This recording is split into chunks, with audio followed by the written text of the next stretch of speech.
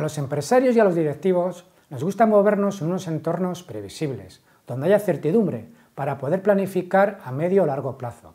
Sin embargo, tengo la sensación que desde el año 2007, aquel año donde empezó la fatídica crisis, nos movemos en unos entornos con total provisionalidad y estamos viendo unos cambios drásticos que eran impensables hace poco tiempo. Y además, estos cambios afectan al ámbito social, económico, político e incluso institucional.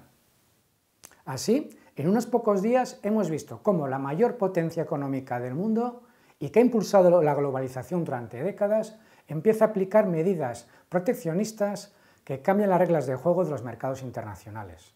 También hemos visto cómo un presidente del gobierno español ha sido echado a casa por un partido que tenía una clara minoría en el Parlamento.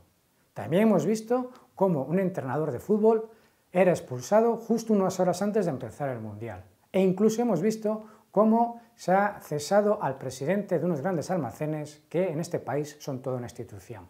Lo dicho, nos estamos moviendo en unos entornos totalmente imprevisibles.